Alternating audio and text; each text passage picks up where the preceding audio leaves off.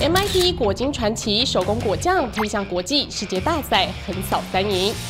水果激动，保持鲜味，突破技术，年收两亿。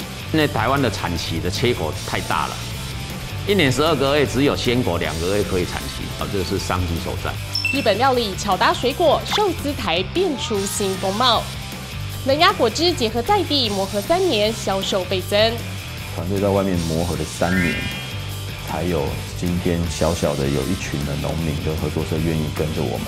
更多精彩内容，支付时代本周六日两点钟，掌握乐活消费大小事。